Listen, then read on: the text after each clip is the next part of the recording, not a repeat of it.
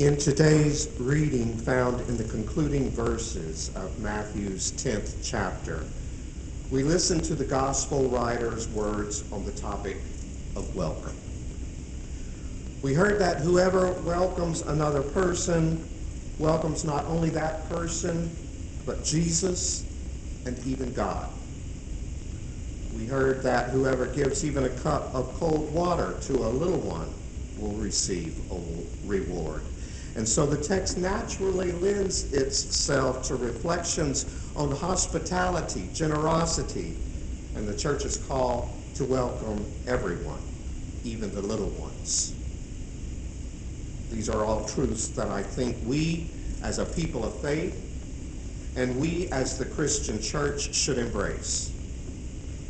I also believe that we receive our own spiritual reward when we welcome someone into our lives and into our church.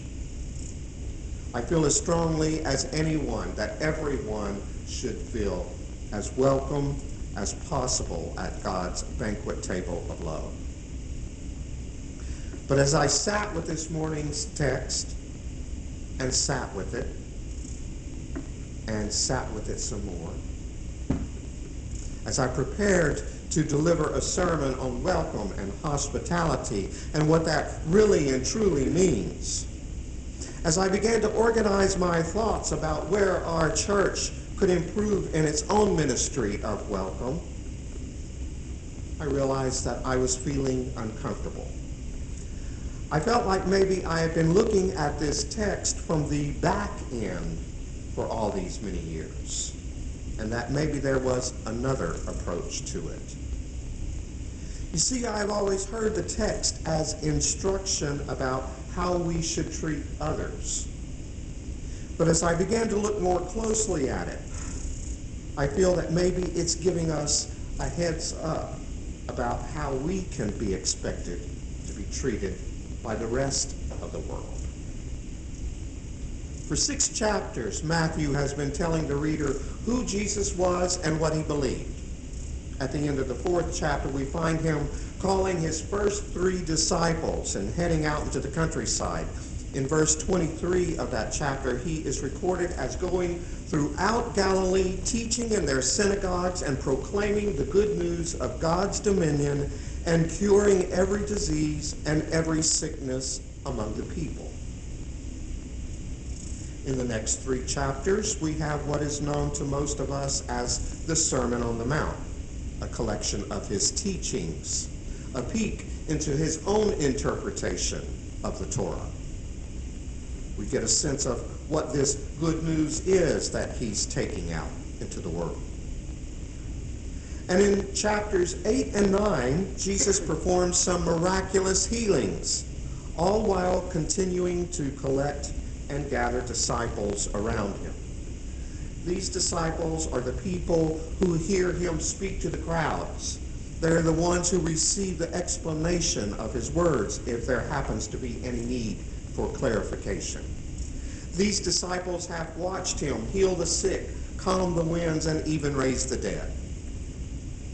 And in this morning's chapter, chapter 10, Jesus tells them, now it's your turn. He sends them out to do the same things that he has been doing, to cure the sick, raise the dead, cleanse the lepers, and cast out demons.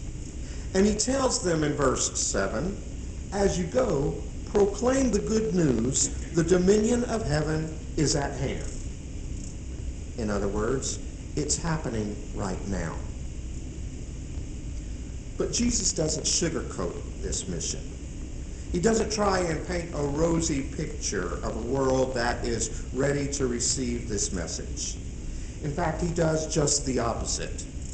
In verse 16, he says, See, I am sending you out like sheep into the midst of wolves.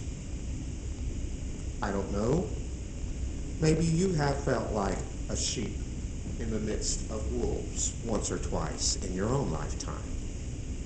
Maybe life has thrown you so many curveballs that you've decided it's not a very friendly place in which to live. And maybe you're wondering if Jesus is the good shepherd, why in the world would he send us like sheep into the midst of wolves? I believe he is asking us to trust that he will protect us in spite of the wolves. That we must believe that we will not be devoured by the words or actions of the world's wolves. That we have a mission which is far more important than the fear we experience at the sound of nearby wolves howling at us. But let's move on to this morning's text, a text which we usually inter- interpret as instructions about how we should welcome others. But Jesus wasn't telling his disciples how to welcome other people. He was telling them how they were going to be welcomed. He tells them that there will be a variety of ways in which the message will be received. And the rest of the world will see the disciples through many different lenses. Some people will call them prophets and welcome them as such. But don't let their praise go to your head. Some people will treat them as if they are righteous people. But remember how quickly opinions can and do change. Some people will, offer just the very basics, such as a cup of cold water. Don't make judgments one way or the other because God knows what's in the heart of each person. And each person who responds to you will receive their own reward from God. Jesus affirms in this morning's opening words the same message that I shared with you last week. Last week I said that we are all made in God's own image and likeness. And so it follows, Jesus says, that whoever welcomes you welcomes God, the one who sent me. And the reverse is also true. Luke's parallel text has Jesus telling his disciples just before being sent out as sheep into the midst of wolves, whoever rejects you rejects me, and whoever rejects me rejects the one who sent me. This is not a text about how we should treat others. It's a text about how others will treat us and how we need to let God take care of the responses of those people. In other words, what others think of us is none of our business. 42 years ago, on October 12, 1968, Troy Perry began preaching the good news that, that the dominion of God was at hand, that God's welcome extended to everyone, including the LGBT population. It wasn't a popular message. He had many detractors.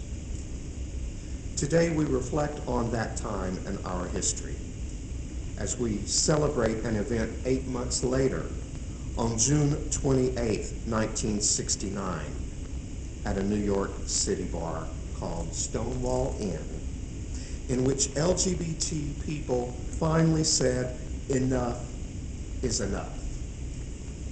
It was the beginning of a long and difficult road to equality for the LGBT community, one which is not complete. 42 years is a long time. But even these many years later, you and I may feel that we are like sheep amidst the wolves of prejudice and hatred. Even these many years later, many members of the LGBT community live in fear of being outed by others. But the Good Shepherd assures us that we are not as alone as we may feel. God watches over us. The Holy Spirit guides our ways, and the lives of those who have gone before us inspire us. That is, if we stop and open ourselves to it. Friends, you and I have been given good news. And even after these 42 years, everyone hasn't heard it. This past week, I heard two people speak one in person, the other by phone. Two people who accept that they are gay, but see it as a flaw that's going to send them to hell. That is not good news. Last Sunday, New York Times Magazine published an article about a Houston psychiatrist who is an out gay man treating people who cannot reconcile their sexual orientation with the God of their understanding. They feel that the only options are to come out as an LGBT, LGBT person and walk away from their religion or remain within their religion and try to be straight. The option he seems to present for them is to live a lie, encouraging them to remain in the closet, if that's what works for them. He lives within a city with one of the largest MCCs in the world, where, whose pastor is the former director of the Human Rights Campaign, and still he encourages his clients to remain in the closet if that works for them. Friends, this is not good news. You and I have been given good news. We know that God loves us, not in spite of who we are, but because of who we are. And the world is desperate to hear that good news.